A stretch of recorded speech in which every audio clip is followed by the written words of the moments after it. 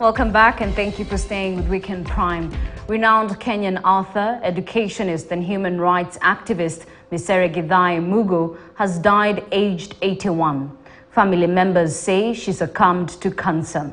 Until her death, she was a literature professor at the Syracuse University in New York. She was born in Kirinyaga County's Baricho area and was an elder sister to former Ndia Member of Parliament and Ambassador Robinson Njeru Githae, among others. Professor Micere fled Kenya to Zimbabwe after the 1982 attempted coup. While there, she taught at the University of Harare and was instrumental in the development of the post-colonial country's education curriculum.